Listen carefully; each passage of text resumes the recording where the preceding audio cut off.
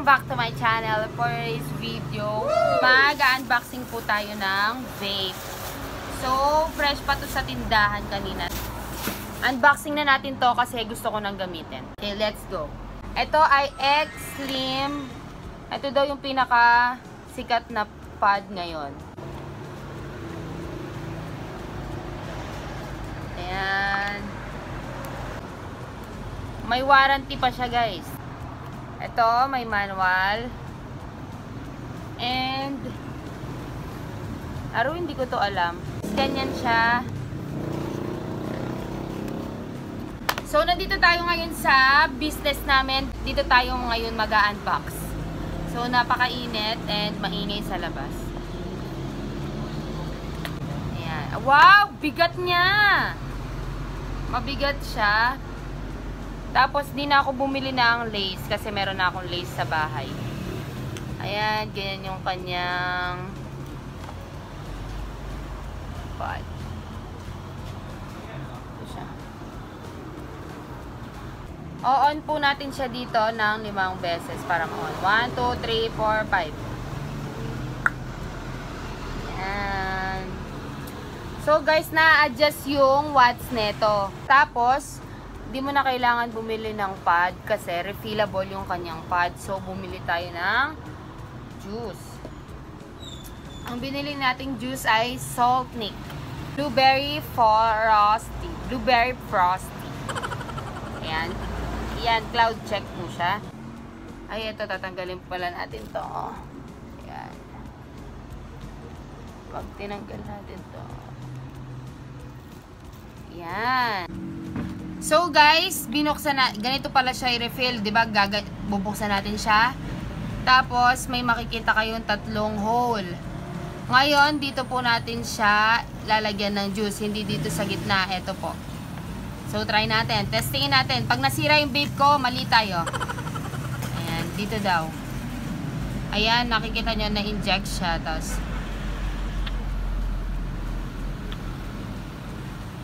Yan. Yan. So, pag puno na, sasara na natin.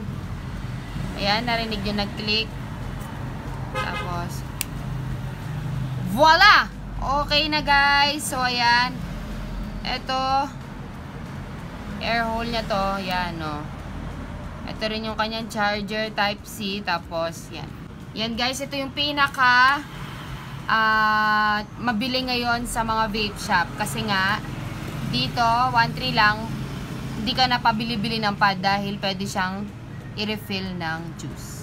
Okay guys, nagbasa ako. Sabi niya, pag naglagay ka ng juice, kailangan mong maghintay ng 5 to 8 minutes bago mo siya i-press, bago ka mag-fire. Kasi nga, binabasa niya pa lang yung cotton. Tapos, pwede mo siyang adjust yung watt or wattage niya by pressing the button ng 3 times. Kapag battery low na siya, makikita nyo dito sa screen, ito, dito sa screen na to, makita nyo pag battery low. Makikita nyo rin kung walang atomizer, kapag power off, temperature high, maglalagay siya ng temp high dito kapag yung PCBA ay masyadong mataas. Ang recommended e-juice ng vape na to ay freebase at saka saltnik. Ito saltnik. Yan. Sabi nung nagtitinda kanina, matipid siya kasi ito, kasi ang papalitan mo dito OCC, hindi pad. Ang pagpalit ng OCC, aabot po siya ng 1 month hanggang 1 month and 2 weeks. Ito yung kanyang airflow. Pwede mo itong adjust. Ayan o, na-adjust siya guys. Ito yung kanyang fire button. Ito daw yung replacement sensor ng device. Ayan. Replacement sensor protector for device. Kasi, etong X-Slim ay sensored siya. Hindi mo na siya kailangan i-press bago mo i-hit. So, kapag nag-hit siya, yun na yun. Sensored siya, yun na yun.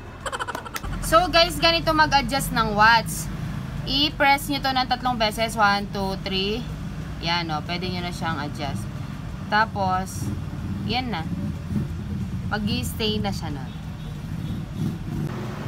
Ganun lang yung pag-adjust ng watt. Okay guys, yun lang sa aking review and konting tutorial about this X-Slim Pod. Ang ganda niya. Feeling ko maganda siya kasi hindi ko siya pwedeng i-try dito kasi hindi tayo na-monetize. Shoutout muna ako. So, shoutout po Sir Ivan Pearl Rodriguez and Sir Engineer Homer Lopez. Maraming salamat po sa support ninyo. And yan. Thank you for watching. Don't forget to subscribe, like, and share my videos. Bye-bye. No negativity, just positivity. Bye.